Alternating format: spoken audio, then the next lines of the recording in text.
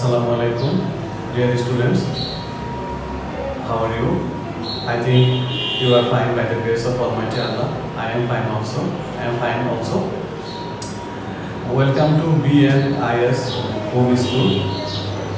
I am Shuriful Islam, Senior Assistant Teacher of National Ideal School.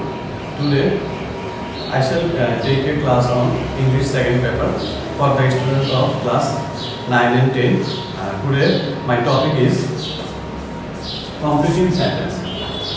Dear student, তোমরা যারা নবম দশম শ্রেণির শিক্ষার্থী রয়েছে তাদের জন্য কমপ্লিটিং সেন্টেন্স একটি গুরুত্বপূর্ণ টপিক তো আজকে আমাদের আলোচনার বিষয় হচ্ছে completing sentence completing sentence part one dear student তোমরা যারা নবম শ্রেণির শিক্ষার্থী তাদের জন্য কমপ্লিটিং সেন্টেন্স এটি একটি নতুন টপিক আর যারা দশম শ্রেণির শিক্ষার্থী, তারা কমপ্লিটিং সেন্টেন্স সম্বন্ধে তোমাদের মোটামুটি বেশ ভালো ধারণাই রয়েছে। তোমরা পরীক্ষার ভালোই কমপ্লিটিং সেন্টেন্স পারতেছো তো যারা নবম শ্রেণির শিক্ষার্থী, তারা যদি আজকের ক্লাসটি গুরুত্ব সহকারে দেখো এবং সেই সাথে যারা দশম শ্রেণির শিক্ষার্থী রয়েছে, তোমরাও যদি ক্লাসটি গুরুত্ব সহকারে দেখো, আমার মনে হয় যে তোমরা নতুন অনেক কিছু শিখতে পারবা। তো ডিয়ার স্টুডেন্ট চলো আমরা আজকের ক্লাসটি শুরু করি। তো দেখো কমপ্লিটিং সেন্টেন্স কমপ্লিটিং সেন্টেন্স এটি এটির সংজ্ঞাটা কি? তোমাদের অনেক, অনেকেই জানতে ইচ্ছা করে যে কমপ্লিটিং সেন্টেন্স সংজ্ঞাটা কি? এটা খুবই সহজ। কমপ্লিটিং সেন্টেন্স হলো অসমাপ্ত অসমাপ্ত বাক্য সমাপ্ত করা। মানে তোমাদের পরীক্ষায় পাঁচটি সেন্টেন্স দেওয়া থাকবে কোশ্চেন নাম্বার সেভেনে তো সেখানে তোমাদের পাঁচটি অসমাপ্ত বাক্য দেওয়া থাকবে মানে পাঁচটি ইনকমপ্লিট ক্লোজ দেওয়া থাকবে। তোমাদের আরও পাঁচটি ইনকমপ্লিট সেন্টেন্সটাকে কমপ্লিট করার জন্য পাঁচটি সঠিক সঠিক ক্লজ বসাতে হবে। মানে সামঞ্জস্যপূর্ণ আরও পাঁচটি সঠিক ক্লজ বসিয়ে তোমাদেরকে সেন্টেন্সগুলো সমাপ্ত করতে হবে। তো দেখো, তোমাদের এখানে আমি এক্সাম্পলের দুটি এক্সাম্পল দিয়েছি তোমাদের সুবিধার সুবিধার জন্য। দেখো example one we work hard so that we can prosper in life যে আমরা কঠোর পরিশ্রম করি যাতে সোদের অর্থ হচ্ছে যাতে আমরা জীবনে so that we can prosper in life যাতে আমরা জীবনে উন্নতি করতে পারি হ্যাঁ? তাহলে দেখো, আমরা আমরা প্রথম যে সেন্টেন্সটি দেখলাম, দেখো, এখানে সো হচ্ছে একটি লিঙ্কাস তো সো পরে যে অংশটি থাকবে, সেই অংশটি তোমাদের গ্যাপ থাকবে, সেটি তোমরা ফিল আপ করতে হবে, দেখো we can prosper in life তো আমরা জানি যে সো দ্যাটের আগের অংশ যদি প্রেজেন্ট থাকে, দেখো, এখানে ওয়ার্ক উই ওয়ার্ক হার্ড এই অংশটি প্রেজেন্ট ফর্মে আছে। সেজন্য আমরা পরের অংশ প্রেজেন্ট করেছি। এখানে ক্যান একটি মডাল মরাল অথরের ধর আমরা বসিয়েছি। তো তোমরা খেয়াল করো বিষয়টা যে আমাদের এরকম সেন্টেন্স দেওয়া থাকবে, আমাদেরকে সামঞ্জস্যপূর্ণ আরেকটি অংশ মানে আরেকটি ক্লস বসে আমাদেরকে সেন্টেন্সটি ফিল আপ করতে হবে। তারপর দেখো দ্বিতীয় যে উদাহরণটি Nusra talks as if she knew everything তাহলে দেখো যে এখানে অ্যাজ ইফ আছে। অ্যাজ ইফ এর অর্থ হচ্ছে এমন যেন হ্যাঁ? অথবা কোনো কোনো বইতে শুধু যেন লেখা আছে।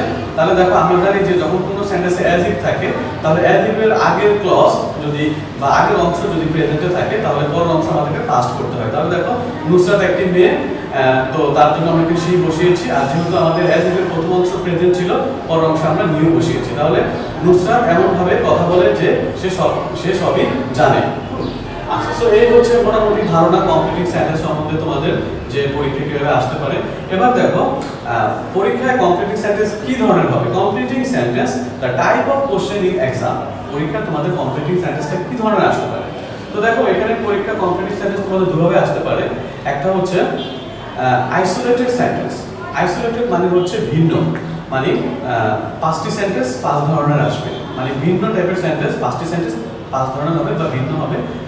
তো এখানে তোমাদের এই একটি বিষয় আইসোলেটেড সেন্টেন্স এটা তোমরা খেয়াল রাখবা। আরেক ধরনের আসতে পারে যে প্যাসেজ টাইপ মানে প্যাসেজ টাইপ হচ্ছে তোমাদের একটা নির্দিষ্ট একটা টপিক টপিক বা একটা প্যাসেজের উপর বা একটা থিমের উপর পাঁচটি সেন্টেন্স আসবে এবং সেন্টেন্সগুলো লিঙ্ক আপ হবে। মানে তোমরা যখন পাঁচটি সেন্টেন্স ফিল আপ করবা, তখন তোমাদের সেন্টেন্সগুলোর সাথে একটার সাথে একটা সামঞ্জস্য থাকতে হবে। মানে একটার সাথে একটা সেন্টেন্সের সাথে একটা সেন্টেন্সের মিল থাকতে হবে। তো ডিয়ার স্টুডেন্ট তোমরা রুলসের ব্যবহার করে সেন্টেন্সগুলোকে প্রত্যেকটা সেন্টেন্সের সাথে প্রত্যেকটা সেন্টেন্সের সামঞ্জস্য থাকে বা মিল থাকে, সেভাবে তোমরা সেন্টেন্সগুলো সুন্দর মতো সাজিয়ে লিখবে এখানে তোমাদের যদি সেন্টেন্সগুলো যদি মিল না থাকে বা যদি উপরের সেন্টেন্সের সাথে নিচের সেন্টেন্সের যদি বা পরের সেন্টেন্সের সাথে যদি মিল না থাকে, তো সেক্ষেত্রে তোমাদের একটু সমস্যা হতে পারে। তো তোমরা এই প্যাসেজ টাইপ যে কমপ্লিটিং সেন্টেন্সগুলো আছে, তোমরা সেগুলো বাসায় প্র্যাকটিস করবা। তো বিষয়টা ক্লিয়ার ডিয়ার স্টুডেন্টস চলো আমরা পরবর্তী বিষয়গুলো খেয়াল করি। দেখো কমপ্লিটিং সেন্টেন্স তুমি যদি সঠিকভাবে লিখতে চাও, তাহলে তোমাকে কি কি গ্রামাটিক্যাল আইটেমগুলো জানতে হবে? Required grammatical items you have to know তোমাকে কি কি জানতে হবে? Significant rules of completing sentence তোমাকে কমপ্লিটিং সেন্টেন্সের গুরুত্বপূর্ণ রুলসগুলো জানতে হবে। তো আজকে আমি তোমাদের কমপ্লিটিং সেন্টেন্সের গুরুত্বপূর্ণ সাতটি নিয়ে আলোচনা করব। তো দেখো dear students significant rules of completing sentence সেটা জানতে হবে।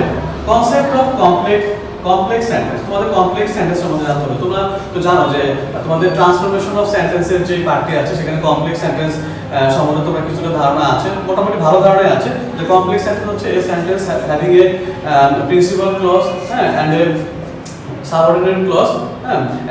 with some uh, subordinating uh, uh, subordinating conjunction like as since though hmm, till until because হ্যাঁ সেটা হচ্ছে কমপ্লেক্স সেন্টেন্স আর তোমাদেরকে ক্লস সম্বন্ধে ধারণা থাকতে হবে। ক্লস কি? যে ক্লস ইজ এ এই clause having a subject and final verb হ্যাঁ?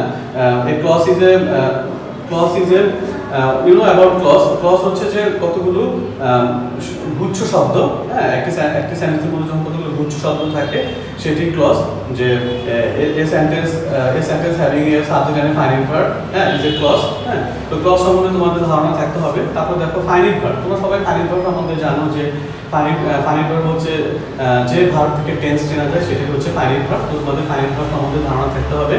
তারপর সিম্পল সেন্টেন্স তোমরা জানো যে সিম্পল সেন্টেন্স কি? যে যে সেন্টেন্সে একটি সাবজেক্ট ও একটি ফাইনাল ভার্ব থাকে, সেটি সিম্পল সেন্টেন্স তো এই বিষয়গুলো তোমাদেরকে গুরুত্ব সহকারে এই ধারণা থাকতে হবে। তারপরে তোমাদেরকে মেমোরাইজিং প্রোভার্বস হ্যাঁ তোমরা প্রবাদ প্রবচন সম্বন্ধে জানো যে তোমাদের প্রবাদ প্রবচন সম্বন্ধে ধারণা থাকতে হবে। তোমাদের কমপ্লিটিং সেন্টেন্সের পরীক্ষায় একটি বা দুটি প্রবাদ বাক্য থাকতে পারে। তো তোমরা মেমোরাইজিং প্রোভার্বস তোমরা প্রবাদ বাক্যগুলো ভালো করে দেখবা। তো ডিয়ার স্টুডেন্ট এই হচ্ছে মৌলিক ধারণা। কমপ্লিটিং সেন্টেন্সের এই মৌলিক ধারণাগুলো সম্বন্ধে তোমাদের ধারণা থাকতে হবে। এবার চলে আসো আমরা বসে চলে যাই। আচ্ছা completing suggestive rules on completing sentence completing সেন্টেন্সের তোমাদের প্রথম যে রুলসটি আছে, তুমি একটু খেয়াল করো। Use of so dot dot that এতই যে। তো দেখো, তোমরা এখানে স্ট্রাকচারটি দেখতেছো যে structure subject verb so adjective অথবা adverb plus that subject can অথবা ক্যান নট অথবা কুড নট ভার্বের বেস ফ্রম এক্সটেনশন তাহলে দেখো, যখন কোনো সেন্টেন্সে সো ডট ডট দ্যাট থাকবে, তার মানে এই এখানে গ্যাপে আমরা এখানে অ্যাডজেক্টিভ বসবে, আমরা দেখাচ্ছি। তো যখন কোনো সেন্টেন্সে সো ডট ডট দ্যাট থাকবে, তো প্রথম অংশ যদি তোমার প্রেজেন্ট থাকে, তাহলে পরের অংশ প্রেজেন্ট হবে। তার মানে দেখো যে, এখানে পরের অংশ আমাদেরকে ক্যান নট বা কুড নট বসাতে হবে। তাহলে দেখো the boy is so poor that he can not buy a book তার মানে কি দেখো, ছেলেটা এতই গরিব যে হ্যাঁ সে কি করতে পারে না, সে একটি বই কিনতে পারে না। হ্যাঁ তো এই হচ্ছে বিষয়টা ডিয়ার স্টুডেন্টস দেখো এখানে আমরা ক্যান একটি মডেল এনেছি, ঠিক আছে? তো এখানে প্রেজেন্ট আছে ভার হচ্ছে ইজ সেজন্য আমরা এখানে ক্যান এনেছি প্রেজেন্ট হ্যাঁ প্রেজেন্ট থাকার কারণে। তারপর দেখো পরের যে সেন্টেন্সটি দেখো সবাই.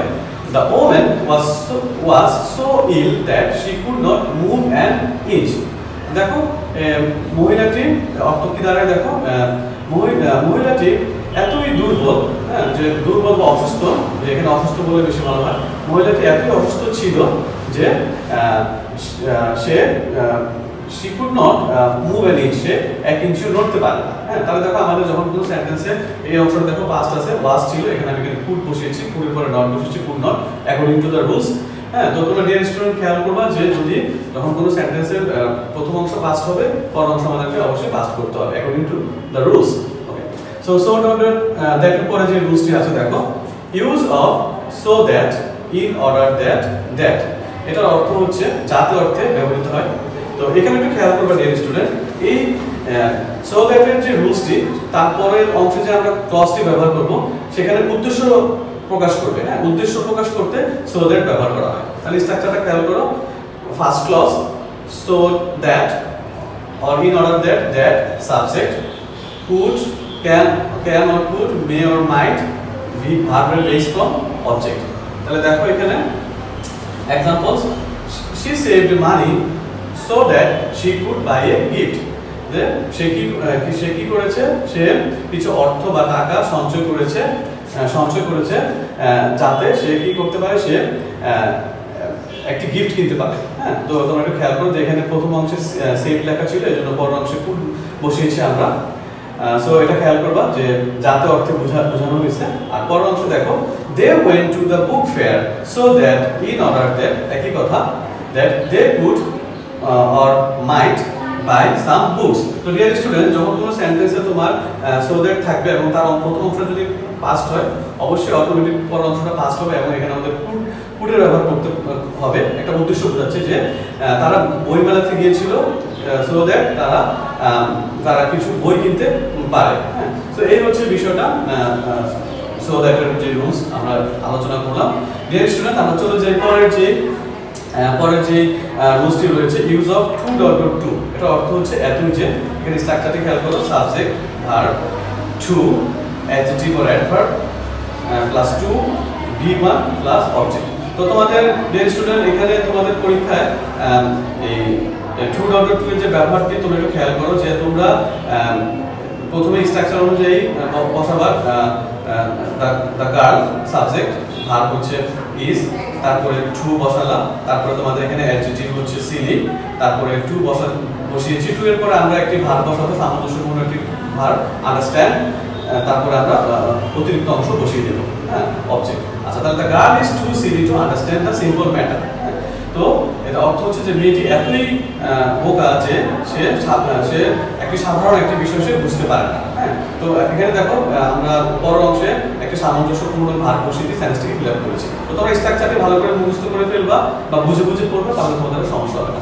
তো আমরা চলে যাই চার নম্বর রুলসে দেখো চার number rules use of it is time it is high time এটার অর্থ এরকম দাঁড়ায় যে উপযুক্ত সময় বা ফাইনাল টাইম মানে কোনো একটি কাজের সময় অনেক আগেই অতিক্রান্ত হয়ে গেছে। মানে কাজটি করার ক্ষেত্রে আর আমরা বিলম্ব করতে চাই না, কাজটি এখনই করার উপযুক্ত সময়। এরকম একটি ধারণা যদি প্রকাশ করা হয়, তখন আমরা ইট ইজ টাইম অথবা হাই টাইম ব্যবহার করব। তোমরা দেখো structure it is time it is high time R structure তারপর সাবজেক্ট টু ভার্বের ভার্বের সেকেন্ড ফর্ম যেটা আমরা বলি যে পাস্ট ফর্ম তারপরে আদার ওয়ার্ডস তার মানে তোমরা খেয়াল করবা যে যখন আমরা হাই টাইম ব্যবহার করব, তখন সাবজেক্টের পরে অবশ্যই আমরা পাস্ট ইনডিফিনিট ফর্ম ব্যবহার করব ভি টু আচ্ছা তো এখানে দেখো it is high time we stop corruption হ্যাঁ?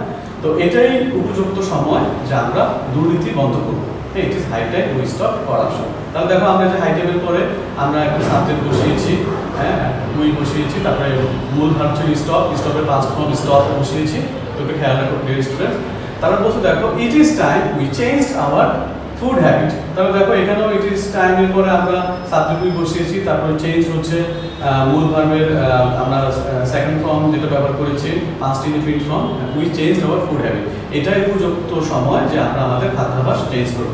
তাহলে দেখো dear students it is time R high যে রুলসটি আলোচনা করেছি। তোমরা বাসাটি আবার একটু খেয়াল করবা।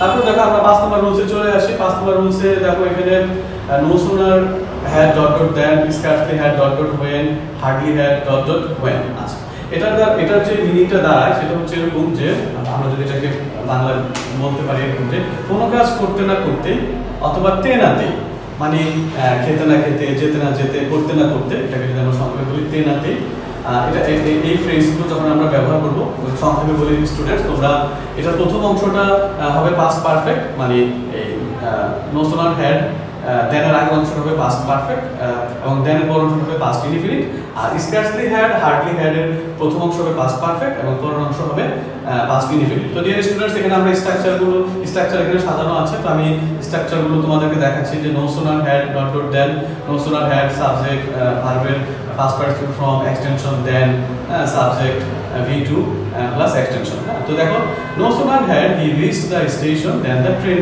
arrived হ্যাঁ? না মাত্র সে স্টেশনে যে নামতো আমরা স্টেশনে পৌঁছালাম তখনই ট্রেনটি চলে আসলো।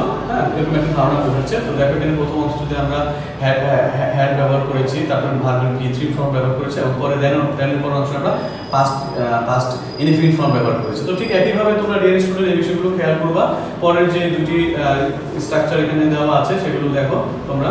এই যে scarcely scarcely had dot dot when scarcely had plus subject plus V three তারপরে other words when subject V two scarcely had the assembly began when the president কে যে না মাত্র অ্যাসেম্বলি বা সমাবেশ শুরু হয়েছিল আহ, তখনই প্রেসিডেন্ট বা রাষ্ট্রপতি এসেছিলেন তো এই বিষয়গুলো খেয়াল রাখবা। তারপর হার্ডলি হ্যাড ডক্টর হোয়েনের যে বিষয়টা সেটাও একই ধরনের প্রথম অংশ পাস পারফেক্ট হবে এবং হোয়েনের পর অংশ হবে পাঁচটি রিপিট যেমন hardly had we reached the classroom when the teacher কে যেই না মাত্র আমরা ক্লাসে পৌঁছালাম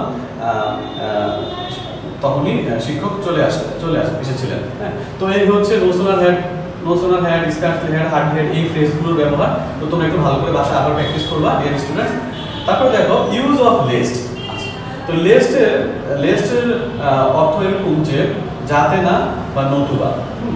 আবার কোনো কোনো বইতে এভাবে লেখা আছে এই ভয়ে যে তো দেখো লেস্টের যে প্রথম যে লেস্টের যে অংশটা, যে স্টুডেন্ট দেখো এখানে লেস্টের প্রথম অংশটা এনি টেন্স হতে পারে স্ট্রাকচারটা খেয়াল করো এনি টেন্স ইম্পারেটিভ অ্যাসার্টিভ হতে পারে। হ্যাঁ অনেক বইতে শুধু ইম্পারেটিভ দেওয়া আছে। আসলে এটার স্টার্টিংটা অ্যাসার্টিভ হতে পারে। হ্যাঁ এনি টেন্স ইম্পারেটিভ আর অ্যাসার্টিভ লেস্ট সাবজেক্ট শুড আর মাইট ভার্বের ভি ওয়ান আদার ওয়ার্ডস তো দেখো, লেস্টের আমরা যখন ব্যবহার করব, তখন লেস্ট দ্বারা নেগেটিভ অর্থ প্রকাশ করে। সেজন্য লেস্টের পর আমরা কখনোই নট ব্যবহার করব না। আমরা কি করব না? নট ব্যবহার করব না। তাহলে দেখো এখানে এক্সাম্পল দেওয়া আছে। Work first lest you should miss the class তাহলে দেখো বলতেছে যে দ্রুত হাঁটো। ওয়ার্ক ফার্স্ট নতুবা তুমি ক্লাসটি মিস করবে। You should miss the class তো এখানে একটা মৌলিক বিষয় আছে যে তোমাদের ইউর পরে তোমাদের শুড অথবা মাইট অবশ্যই ব্যবহার করতে হবে। এটি একটি রুলসের একটি মৌলিক বিষয়।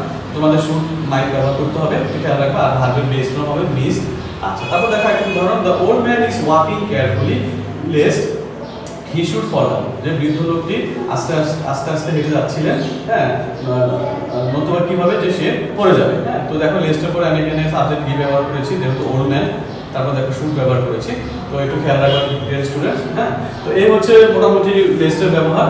আচ্ছা আমরা সাত নম্বর রুলসে চলে আসি। সাত নম্বর রুলসটা হচ্ছে ইউজ অফ অ্যাজ ইফ অথবা অ্যাজ তো হ্যাঁ তো এর অর্থ হচ্ছে এমন যেন, কোনো কোনো বইতে শুধু যেন লেখা আছে, তো বিষয়টা আসলে এমন যেন হলে বেশি ভালো হয়।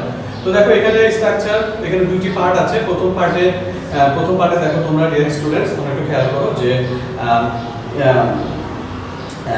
first clause present as if as as though তারপর সাবজেক্ট ভি টু অবজেক্ট অথবা সাবজেক্ট ওয়ার অবজেক্ট তাহলে দেখো, প্রথম অংশটা যদি তোমাদের প্রেজেন্ট হয়, প্রথম ফার্স্ট ক্লসটা যদি তোমাদের প্রেজেন্ট হয়, অবশ্যই পরের ক্লজটা অ্যাজ ইফ অ্যাজ দো পর অবশ্যই পাস্ট হবে।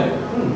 এটা হচ্ছে প্রথম অংশ, আর এটা আরেকটা অংশ বা আরেকটা রুলস হচ্ছে যে তোমরা একটু দেখো যে ফার্স্ট ক্লজ যদি পাস্ট হয় হ্যাঁ পাস্ট ফর্মে থাকে অ্যাজ অ্যাজ ইফ অ্যাজ আগের অংশ যদি পাস্টে থাকে, তাহলে পরের অংশটা অবশ্যই পাস্ট পারফেক্ট হবে। তাহলে দেখো অ্যাজ অ্যাজ ইফ অ্যাজ পরের অংশ subject plus had plus verb past participle plus object অথবা subject had been plus object তো দেখো এখানে আমি দুটি উদাহরণ তোমাদের জন্য, বোঝার সুবিধার্থে আমি দুটি উদাহরণ এখানে দিয়েছি, তোমরা একটু খেয়াল করো স্টুডেন্টস যে Asif behaves as if he were mad যে আসিফ এমনভাবে ব্যবহার করে হ্যাঁ এমন ধরনের ব্যবহার করে যে সে হি ওয়ার ম্যাট যে সে পাগল হয়ে গেছে। তাহলে দেখো এখানে এই যে অ্যাজ ইফের যে ব্যবহারটা আমরা এখানে দেখতেছি যে যেন, তাহলে এখানে প্রথম অংশে বিহেভস প্রেজেন্ট আছে, এই জন্য পর অংশ পাস্ট হয়েছে ডিয়ার স্টুডেন্টস আর পরে একটা উদাহরণ দেখো, যে he pretended as if he had known everything তো দেখো, এখানে প্রিটেন্ডেড মানে হচ্ছে ভান করা। তো এখানে ভান করেছিল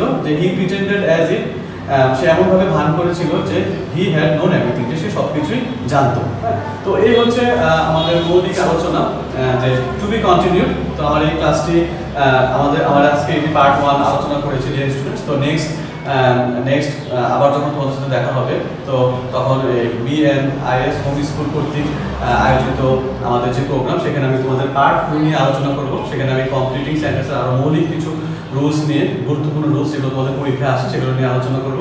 তো আজকে এই পর্যন্তই। তোমরা সবাই ভালো থাকবা। আল্লাহ হাফিজ।